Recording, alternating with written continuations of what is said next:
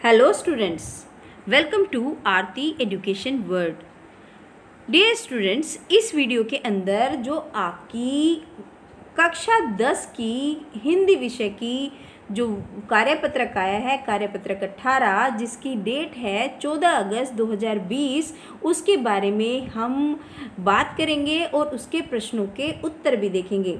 आज की जो वर्कशीट है, बड़े ही आपके एक राइटिंग स्किल जो आती है, आपकी जो लेखन शैली होती है, उसके ऊपर है। और वो किसके ऊपर है? संदेश। संदेश स्पेसिफिक है ये। जो इस संदेश का मतलब क्या होता है? जब हम किसी को कोई खबर देते हैं या कोई समाचार मिलता है किसी को तो उसको हम संदेश बोलते हैं।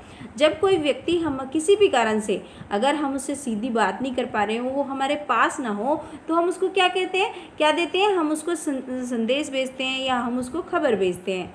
ठीक है? और संदेश किसी समूह या को भी दिया जा सकता है, किसी एक स्पेशल एक आदमी को भी दे सकते हैं बहुत सारे लोगों को भी संदेश भेज सकते हैं हम। और संदेश के दो प्रकार होते हैं। कौन कौन से प्रकार होते हैं? एक तो होता है लिखित और दूसरा होता है मौखिक। लिखित कौन सा जो हम लिख के देते हैं और मौखिक जो मुँह से बोल कर देते हैं, संदेश अच्छा भी हो सकता है और बुरा भी हो सकता है तो सुखद दुखद दोनों तरह के होते हैं। जब आप संदेश लिखेंगे तो ये सारी जो बातें लिखी हुई है ना, ये सब आपको ध्यान रखनी है। जल्दी से देख लेते हैं क्या क्या है। वैसे आप इसको पढ़ लेना। एक तो बॉक्स में होता है हमेशा जो आपका संदेश होता है, बॉक्स के अंदर लिखेंगे, शुरू में संदेश लिखेंगे।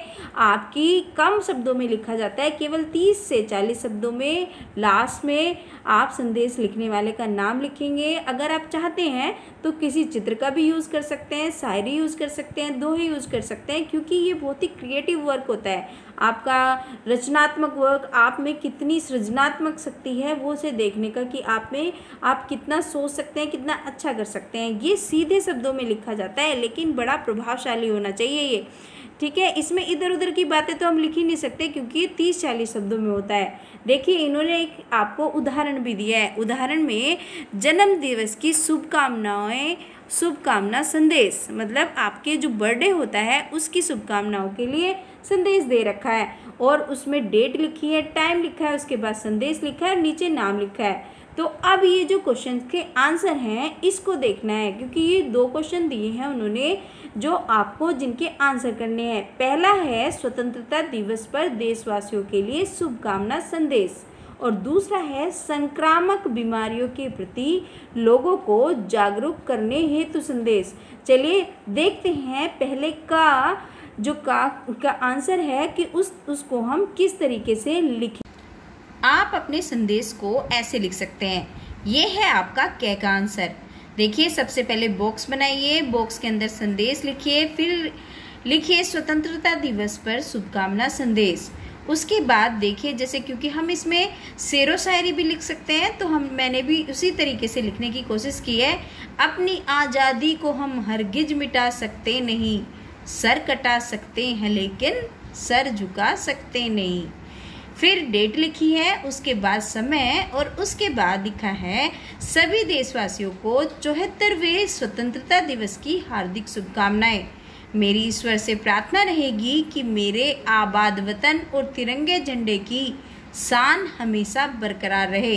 हम सब देशवासी हमेशा अपने तिरंगे की सुरक्षा में तत्पर रहें और नीचे हमें अपना नाम लिख देना है। जैसे कि मैंने एग्ज़ाम्पल के लिए साहिल गुप्ता लिखा है।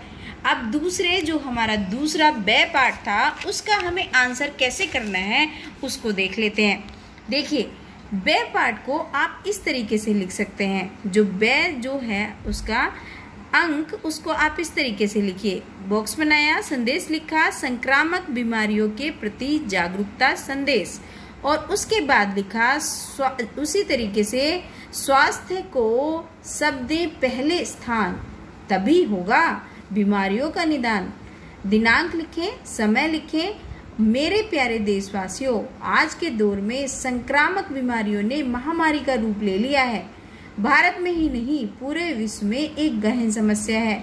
इसलिए सभी के लिए आवश्यक है सरकार और चिकित्सा अधिकारियों के निर्देशों का पालन करें।